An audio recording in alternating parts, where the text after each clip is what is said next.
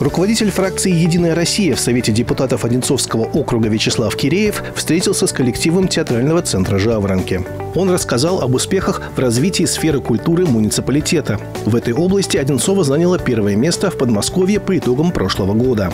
Сейчас сфера культуры округа состоит более чем из сотни организаций, где трудится 1600 человек. Мероприятие прошло в рамках проекта «Культура малой Родины» и проведения предварительных итогов реализации проекта «Подмосковье. Территория перемен», в соответствии с которым выполняются наказы народной программы «Единой России» и губернаторские инициативы.